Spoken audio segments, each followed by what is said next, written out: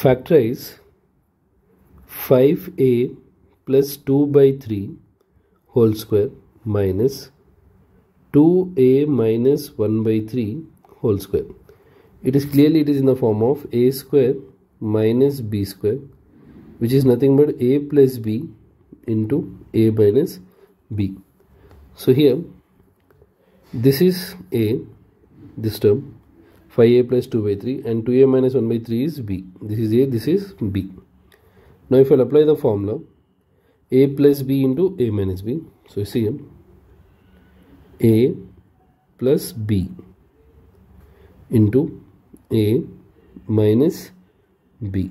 So in place of a 5a plus 2 by 3 2a minus 1 by 3 5a plus 2 by 3 2a minus 1 by 3. So if I'll simplify 5a plus 2 by 3 plus 2a minus 1 by 3 and here 5a plus 2 by 3 minus 2a minus into minus is plus 1 by 3 so here 5a plus 2a 7a and uh, 2 by 3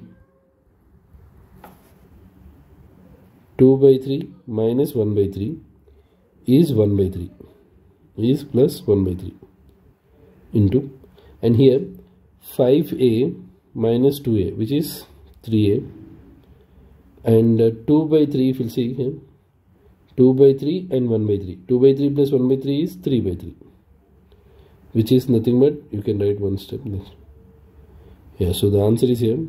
7a plus 1 by 3 into 3a plus 1 3a plus 1